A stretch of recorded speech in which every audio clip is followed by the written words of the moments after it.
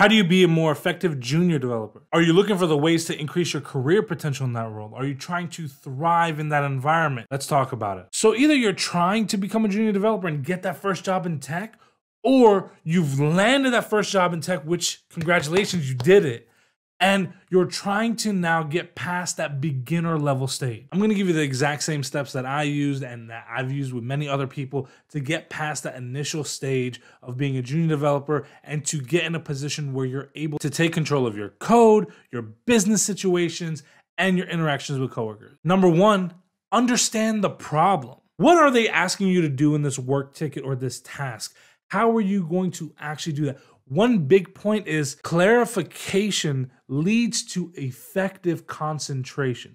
Meaning, don't just go saying, okay, cool. And now you're sitting at your desk trying to wrap your mind around the fact that you now have to create this thing that you don't know much about. And because you were slightly intimidated, you didn't ask the necessary questions to develop a very concise and effective product. Effective products make you an effective developer. So if you're developing solutions that actually solve bigger problems and if it solves the problem that you're tasked with correctly that is a that is a viable business solution that makes you valuable but if you're too afraid to ask that clarifying question when they come to you later on in that day when that task should be done and you're still twiddling your thumb trying to figure things out now not only do you not look great in that situation but because of your lack of understanding of what the ticket even required, what you came up with probably isn't the solution they were looking for. So, an example would be they want you to create a button. So, when this button is clicked, what is the end result going to happen and what is going to happen because of that? Is this button going to be connected to an endpoint? Is this button going to be receiving some information or sending some information? Is what is going to trigger and then what's happening after that trigger? So that way you can prepare yourself. You can actually make sure that you're not future proofing yourself and creating more work down the road. Again, we need to understand why it's happening so that way we can create an effective solution. Don't be afraid to ask a clarifying question just to make sure you understand exactly what they're asking you. If we're not connected on social media, connect with me. You'll find those links right below that like button. And if you hit that, hey, I won't be mad. Hit that like button for me. It helps me out the YouTube algorithm. Number two, pseudocode transforms into real code. Pseudocode is essentially writing in plain English what you want this thing to do. It allows you to create those steps and you break it down saying, okay, at step one, I need this, step two, I need this, step three, I need this. And it allows you to critically think about the problem that you're breaking down.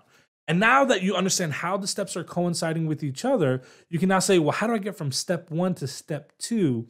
And then you could start saying, well, a for loop could do this, or an if statement, or conditional, or let me check and reference this one thing that now creates that pathway and it allows you to say, my whole goal this entire time was to have a button that when pressed, it sent user information. Well, step one would be, I need this button. Step two would be, when this button is clicked, what event is being actually triggered? Am I clicking an endpoint? Am I sending a post signal? Step three would then be, okay, I've sent this information, but where did I send it? It shouldn't just be send. It's sending where? What is it exactly going to? Is it going to a database? Is it going into another field? Is it going to another table? Where, where is that information going? And now you can effectively work towards where you need to be. But by using pseudocode first, you're allowing yourself to critically think and break that problem down.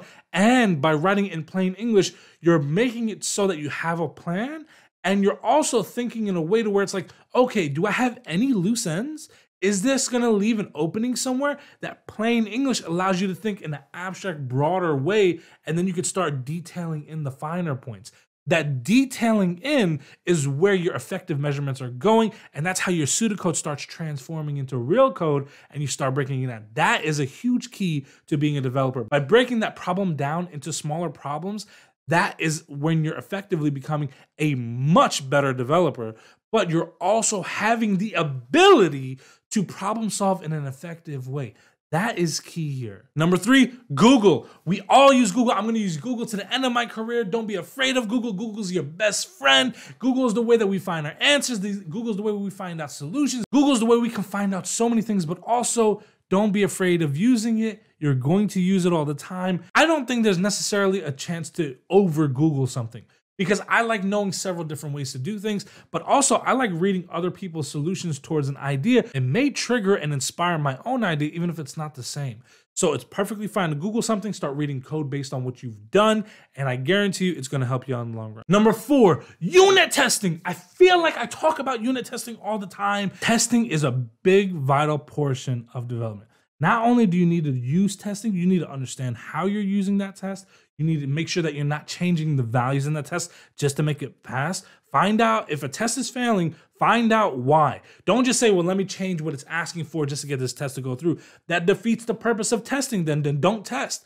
Test driven development works, TDD works. Many companies use test driven development. It will save you in the long run, but you want that because it's going to save you headaches. The last thing you want to do is create some code, let it push through testing, and it makes its way through. And because you don't write any particular unit test and it makes its way to prod and now it's not working, you don't want that phone call saying, hey, prod is down because you did something. You don't want that phone call saying, Uh, Danny, yeah, I know it's two o'clock in the morning, but production is down. Well, why is production down? I don't know, but the last thing in production was the code you pushed, so you may want to take a look at that. You don't want that headache, man. You don't want it. Trust me, you don't want that. Do your unit testing effectively find out exactly what it is that it's making that test fail and solve that problem. Don't just change your test to give you the output solution that you're looking for. Actually utilize it. I guarantee you, in the long run, you're going to thank yourself and you're going to be very, very happy with the results of that. Number five, don't stay stuck for too long. Don't stay stuck for too long. I know sometimes we want to push through a problem, we want to get somewhere. If you've been stuck on a problem for half a day or many hours, and you know the company is wanting you to churn out some tickets, and you're still stuck on that same thing and you haven't reached out, you're not doing yourself a favor because if the boss comes and says, Hey, what have you been doing all day? Well, I've been stuck on the same thing. Well, who did you reach out to? Nobody. That is not the kind of situation you want to be in. It won't take you any time to go to a member on your team or even during your stand up to say, hey, I have a problem with XYZ. I've done ABC and it yielded DEF results, which is not what we're looking for. Right now, I'm trying GHI. I'm not having luck. Does anybody have a solution or a possible fix for me to try? The key points here is number one, you're effectively communicating, which is a big skill you need to have as a developer anyway. But number two, all of the developers on the team now know what you've been stuck on this entire time. Number three, I was going to do this, but now that it is. Number three, by telling them what you've already tried, it already starts ruling out for them to say the exact same thing.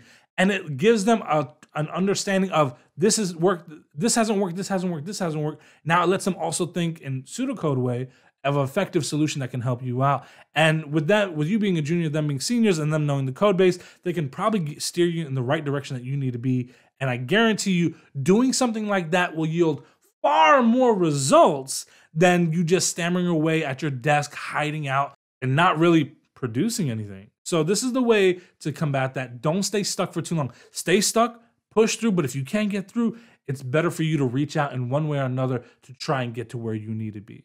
Now, I could talk about stuff like this all day, but I want you to check out my other videos. So, check out my other videos, and I will see you on the next one. I really like this shirt.